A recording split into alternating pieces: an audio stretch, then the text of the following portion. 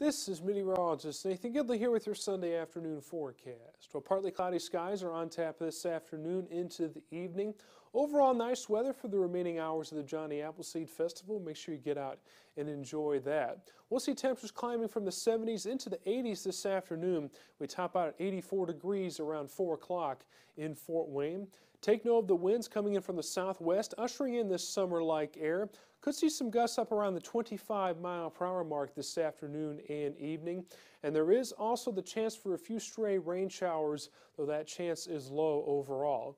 Better chances for more organized scattered showers and storms arrive tonight, and a few of those could be on the stronger side. Here are the main concerns, some gusty winds, hail, and some heavy downpours that could lead to some localized flooding.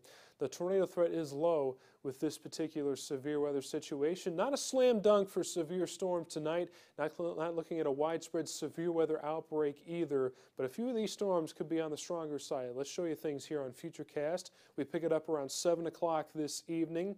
No real concerns until we get to around 11. This is when our window for scattered thunderstorms opens, and a few of those could be strong to severe. You can see the storms scattering their way on through the area in the middle of the night, so have a way to receive weather alerts before you go to bed tonight. Still dealing with the shower storm activity early Monday morning. By the time we get to 7 o'clock, our window for the storms and the severe weather potential closes as the unsettled weather has exited off to the east. We still could see a stray rain shower on Monday, then we just track the clouds throughout the day. Partly cloudy by the time we get to the afternoon, reaching high around 80 degrees in Fort Wayne, with winds shifting becoming northwesterly behind this unsettled weather.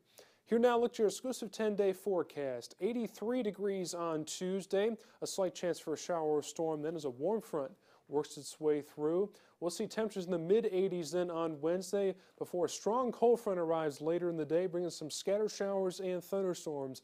That, then the temperatures take a big drop behind that cold front just in time for fall to begin.